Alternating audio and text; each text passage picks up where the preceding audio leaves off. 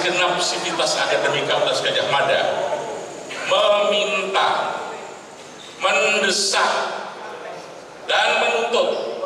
segenap aparat penegak hukum dan semua pejabat negara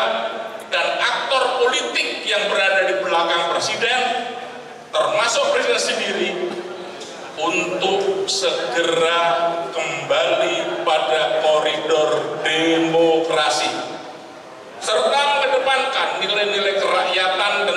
sosial. Kami juga mendesak DPR dan MPR